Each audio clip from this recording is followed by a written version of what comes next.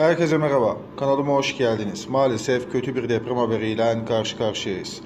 AFAD ve Kandili Restorans tarafından yapılan açıklamalara göre İzmir'in Menderes ilçesinde deprem meydana geldiği ifade edildi.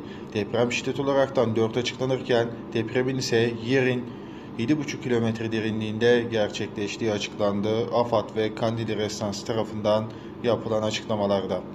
İzmir, Menderes, Özdere'ye 9 kilometre, Menderes, Ahmet Beyliğe 11 kilometre, Çileköy'e 13,5 kilometre, Gölova'ya 16 kilometre, İzmir merkeze ise 60 kilometre mesafe uzaklıkta gerçekleştiği açıklandı.